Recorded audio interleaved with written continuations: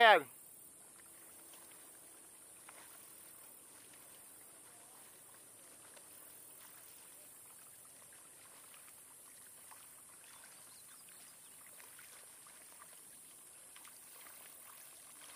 Okay, get ready to stop. Complete stop, dig in, dig in, dig in. All right, good.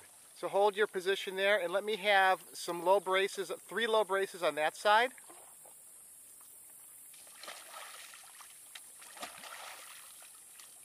Okay, reset your boat up straight here, perpendicular please. And then three on that side.